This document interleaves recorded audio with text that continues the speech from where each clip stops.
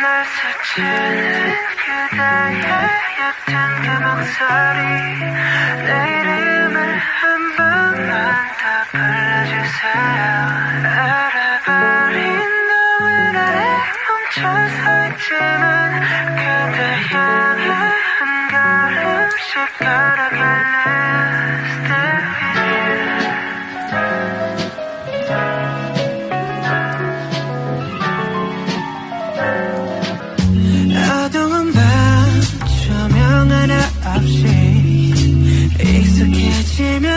되는데 그게 더 익숙해. 마지막이 들리는 이 에어컨 소리. 이거라도 없으면 나 정말 무너질 것 같아. 함께 웃고 함께 울고.